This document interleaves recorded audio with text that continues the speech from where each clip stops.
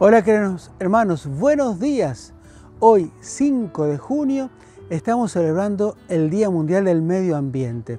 Con esto, este, con este espíritu que el Papa Francisco en aquella carta Laudato Si nos hablaba tan hermosamente, que era una expresión no solamente para los creyentes, sino todos los que habitamos en esta casa común, al cual debemos cuidar este medio ambiente, porque no hay otro es el único lugar donde Dios nos ha puesto para que no lo tengamos como depredadores, sino como custodios de esta naturaleza, del medio ambiente, como hoy es el día.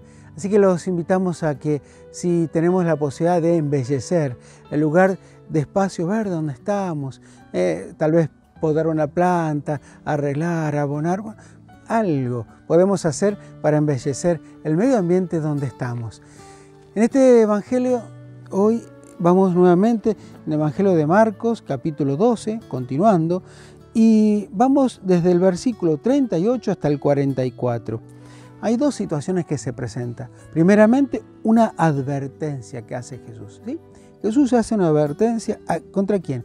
Contra los escribas. ¿Qué cosa les advierte?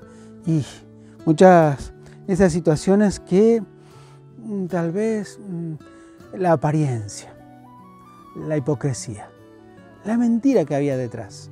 Por eso dice, y él eh, les enseñaba, cuídense de los escribas a quienes les gusta pasearse con largas vestiduras, ser saludados en las plazas, ocupar los primeros asientos en las sinagogas, en los banquetes que devoran los bienes de las viudas y fingen hacer largas oraciones, estos serán juzgados con más severidad. Cuidado entonces cuando hacemos las cosas por apariencia, para que nos vean los demás y no sea Dios el que nos vea. Entonces cuidado con aquello, porque ¿a quién queremos agradar? ¿A Dios o a los hombres? Por eso después inmediatamente sucede una situación.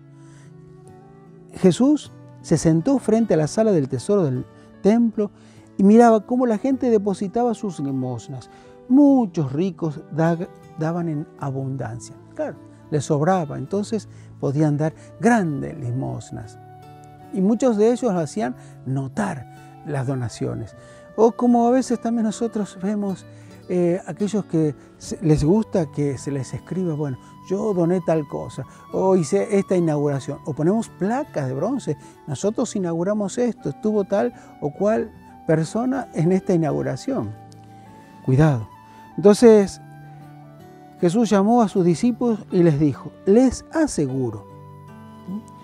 Cuando luego llegó una viuda de condición muy humilde, colocó dos pequeñas monedas de cobre y Jesús, cuando lo llama a los discípulos, le dice, les aseguro que esta pobre viuda ha puesto más que cualquiera de los otros, porque todos han dado de lo que sobraba, pero ella, de su indigencia, dio todo todo lo que poseía, todo lo que tenía para vivir.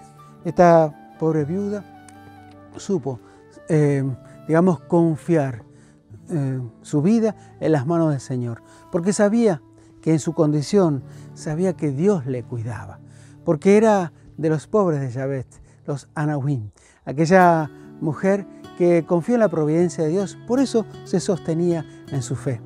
Que el Señor nos cuide y nos proteja, para que cada vez que nosotros tengamos que hacer algo, hacemos para, para Dios y no para los hombres. Y cuidado con las apariencias, porque no es lo que Dios le agrada.